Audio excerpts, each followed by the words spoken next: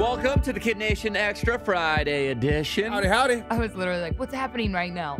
Yeah, Where am I? we're still running on fumes this morning. At least half the show is. Yeah.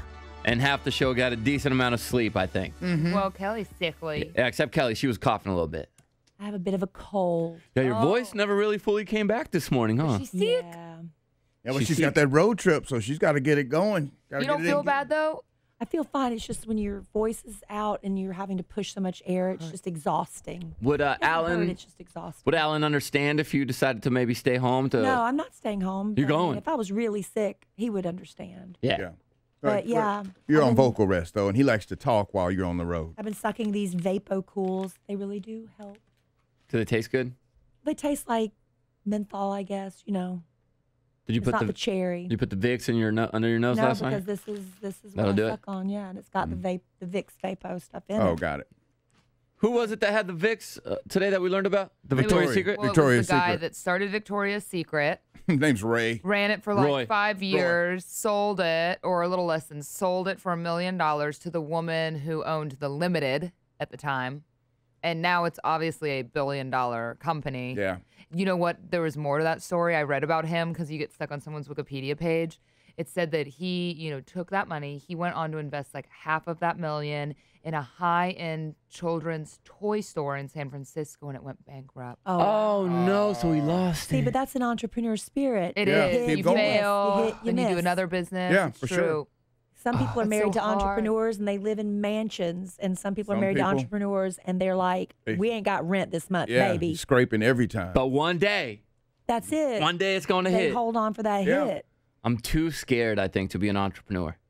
It It's does all a take guessing some, game, really. Yeah. I'll It does take some say I was starting to. business. I was so scared. I would have nights when I started borrowing money from people. I'm like, I would wake up at midnight and be like, "What am I doing?" I Right? mean, Al, I'm sure you did. I'm like, "What Yeah, am I doing?" sure. And everyone tells you that started businesses. They go, "Everyone does this." You wake up in the middle of the night freaked, and then you have days that you're like, "This is so cool." Like I can watch people ordering my product. And, Yeah. But man, ooh, There's going to be peaks and valleys. And, some days I don't know if I'm cut out for it. Yeah. Yeah.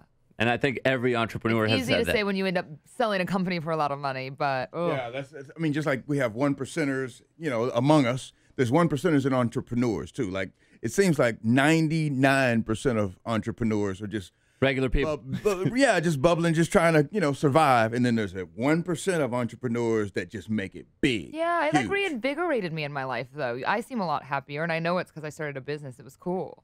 Yeah, because that's learn your new things. that's your baby figure right out. there. It's my Yeah. baby, and it like makes me want to live. You know, Yeah. it makes me want to do stuff. you have something to look forward to when you go home Right. after the show. Yeah. I go home and I coach flag football. Hey, you got your fan. Hey, that's your business. That's your baby. right. That's your you know what I'm baby. Your baby. And then we did win this week. We yeah. a So what, do you have a game tomorrow? Yeah, we got playoffs. And uh, so I'm thinking, and I don't know if say this Good luck, but I don't know which direction I mean that in. I don't know if this is the competitive, uh, the competitor in me, or me wanting to save and spare the kids' feelings. But we're gonna play a team that I know is gonna destroy us. well, that's what you thought the last game. Yeah, I mean, we did beat a team that beat, beat us before, but this team that we beat didn't beat us by as much as this other team we're gonna play. You never know. Well, they The- could have an off day any given They- Sunday, dude. or Exactly. Friday or So I was talking to my wife, and I'm like, "What if?" Because when I got home, my son goes, uh, "That was a that was fun. I felt cool to win again because he he hadn't won since the last team he was on." And I said, "Right, buddy, that was cool." I said, "And then on on Saturday, if you guys win, you get to go to the championship game." And he looked at me and he goes, "No, we just won the championship." in his so- mind, he had. So they all thought they won the championship. So if we forfeit this next game, these kids will go into the offseason thinking they won. And they'll have that you are mentality. not going to forfeit. I'm not, but I definitely thought about it.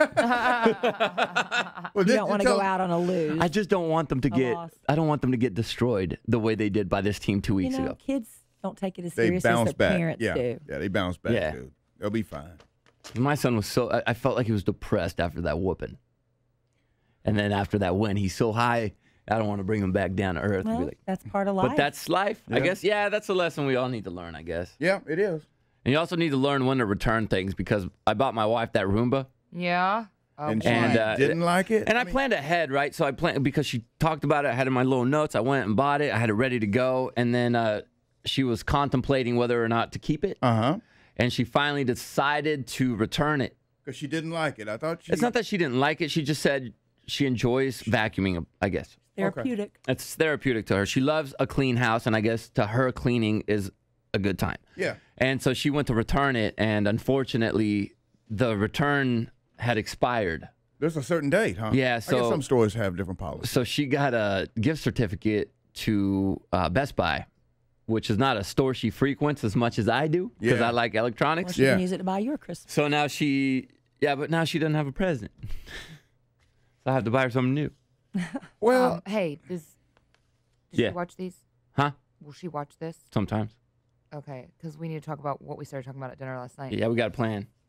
Jen's going to help Planning me. Birthday or Christmas? Well, it's Christmas. funny because J-Si's actually been really good with planning, like what he said, taking notes throughout the year about things she wants, but then she continues to bring up what she wants. You know, as most girls do, like you have to overdrop the hand. and Oh, I'm what she really, really wants. Yeah. I'm like, stop. Stop. We got it. She was doing it at dinner last night. I'm like, well, Oh. it's not special if you keep talking And about then, it. then, uh, even though I don't get it, but it makes J-Si like, I don't even want to get it if she keeps saying she wants it. But that's what she wants. Right. I drop a hint and I say it pretty emphatically Uh-huh. to let my husband hopefully it's Catches registering on. and he's pretty good about it. right? Because I like to catch, I like to catch those like three or four months out, and I know we're not close to that anymore, but I like to catch I get you. back I then, get so she forgets about it, and when it's Christmas, then it's a like a big deal because you caught it three months Yeah. ago. But I'll tell you what my husband's not a fan of. What? Um, I'm I'm like if we need something for the house, yeah. I'll say let's just make that our Christmas gift to each other. I like that. no, he- What? he doesn't like that. Like I want to get the ring doorbell as a, like, as a family gift. He's like, that's a necessity. want Gift that. should be something else. And I'm like, if we need something for the house and it's maybe a thousand dollars or whatever, let's just make it a Yeah, wash. together, That's yeah, right? Nope, he wants to open oh, presents. Oh, interesting. Yeah. Yeah, we do ours. You know, I'll get my wife a present, and the kids a present, but we do a family present for the house. I kind of get that what Alan, where Alan's coming from because as adults, typically, and it's sad, but we don't have quite as many things to be excited about. Yeah. You know, for the most part. Right. There's still a few things to get excited about, but you really look forward to looking forward to something. So I get it. Now I look forward to mostly my kids opening up their presents. Yeah. I don't really mind not getting them. I, I- Yeah. You know, it kind of hurts a little bit, but I'd rather just see them go explode with excitement. we excitement. had a problem last year. I don't know how we're going to fix it this year. It was the gluttony of Christmas, and it Too took much. a lot of joy out of it for me, and I think the kids too, because it was just so much. Well, we're First both Christmas. divorced. So, and you know, my husband was married before, so was I. So now the kids have two sets of grandparents on both sides of the family. So now there's Yeah. four sets of grandparents. There are in-laws. So you do the, your family, and then you have to go to both you, four Christmases, five Christmases. It got to the point It's just a what, what did I get? you don't know what to tell people to buy the kids anymore. They get repeat presents It's like probably. they don't need any of this stuff. And seriously, by about that fifth Christmas celebration, Yeah. it was a beating for everybody. Come on, let's go get in the car. We got to go go, get to our grandma number presents. seven's Yeah, you said the kids are like, uh, Uh, They're over present. it. They're over opening presents. Yeah, yeah, It's I- like I what see are we that. what are we gonna do? yeah, It was so obnoxious last year that it made me feel dirty afterwards. Yeah. I feel you. So it's like how I don't know how we're going to address it this year because this year we have you know Santa's coming to our house, so we've got that dynamic this year that we didn't have last year. I don't know Plus what all the other parties. We did the pulling names thing. You know, I mean, I had one one side of my dad's family was so large and so many cousins that Right. yeah, that they didn't want like every aunt and uncle to have to get every kid, and the grandparents. lot. the grandparents would always get everyone something, but yeah, they would just pull names. So we had you know That's a good. set of kids, and then another family had a you know different set of kids. Right. It, it worked well. It'll be We're all going to have to do something. I'm sure you'll figure it out. Yeah, it was our first year last year. You're welcome to ideas curve. from Kidd Nation, maybe. Sure. All right, so bring them. Uh, you know, you have those ideas. Maybe you have a big family like Kellie does. Let her know what you guys do to maybe not have a Well, it's gluttony of divorce- gifts. It's the divorce situation. Yeah. Yeah. You know? Yeah. Yeah. Yeah. Yeah. More The- family. Four everybody Christmases. wants to. Yeah, everybody wants to. Everybody wants the joy of seeing your grandkid open their present. Yeah. Just tell everybody to get a present for the grandchild that they like the most. I There you like go. That's kind of the bonus part of divorce. There has to be a good side for the kids, and Yeah. that's it, isn't Yeah, it? yeah. Like you get a lot of Like love. saying, But you wanna scale kids- it back. Even the kids were over it. You know what I'm saying? Maybe scale it back a little bit. But yeah, send uh, Kellie your ideas.